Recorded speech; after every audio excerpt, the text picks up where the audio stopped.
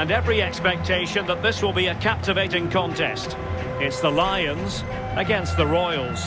Well, thank you, Derek. All the talking is done. Time now to put the coach's plans into action. Let's hope both teams really have a go at each other from the start of this match. It should be a cracker. Wilfried Zaha. Well, nicely cut out. Now what can they do with the ball? He's broken free. In it goes!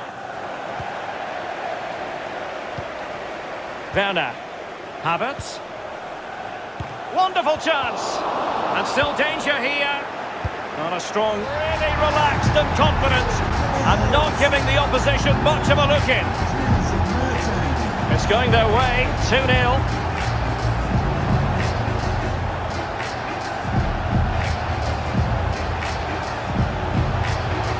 To finish. And a goal to increase their advantage to three. Can they be stopped?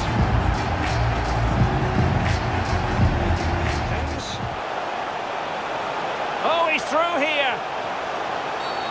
And a big moment because the referee has pointed to the spot. Penalty coming up.